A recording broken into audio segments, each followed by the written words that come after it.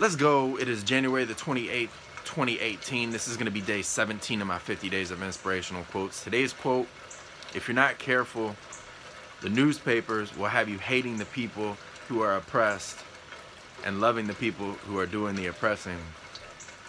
That's Malcolm X. Um, you know, on the surface, that quote, you know, it, I mean, you, you would just assume one way with that quote, but but Malcolm X was a different cat. Um, I grew up really kind of infatuated with Malcolm X for, you know, a, I guess a very influential time in my life, you know. Um, I think when you're anywhere between like 11 and 15 years old, that that kind of really molds you into who you are. Um, those years specifically, I think, and uh, during that time frame, I was just infatuated with Malcolm X, um, and uh, he was.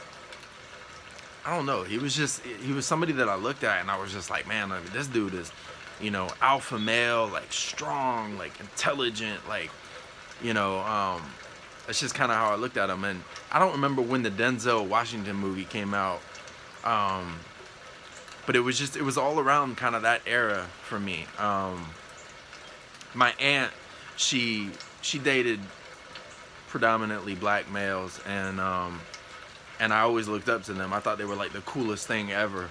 And one of them gave me an African beaded Malcolm X necklace, and uh, it was like my favorite like my favorite necklace. Like I love this thing, and and so one day I decided that I was gonna wear it to school.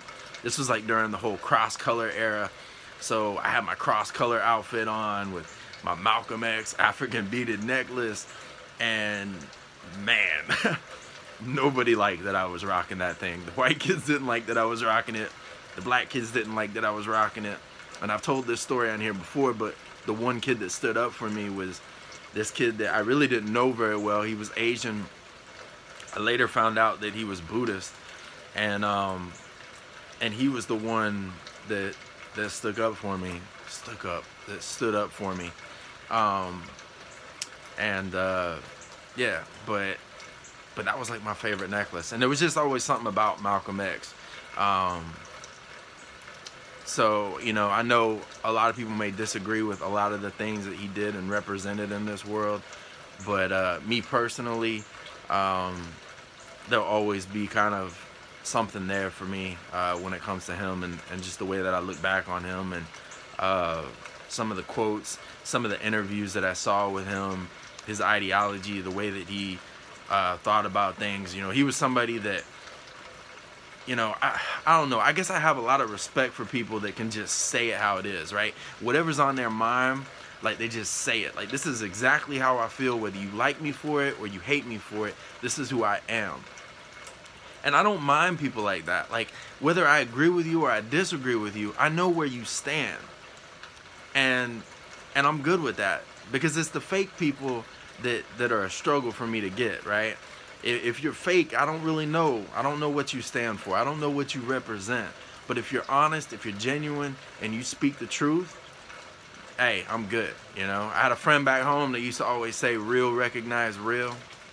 You know, it's just kind of how I see it. You know what I mean? And to me, I always consider him to be pretty real. Um, so whether I agreed with something he said or I didn't agree with something he said, I knew what he was saying was genuine, or at least I felt as though it was genuine. That's how it came off. So, you know, for me, um, I don't know. I always liked that. I always respected that.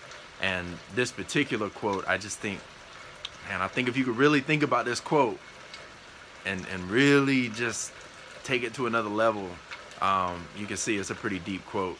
On the surface, it may just seem like it's just a quote. Um, it's pretty obvious what he's saying, but if you really understand the media and you understand everything, um, it's a pretty deep quote. If you're not careful, the newspapers will have you hating those who are oppressed and loving those who are doing the oppressing.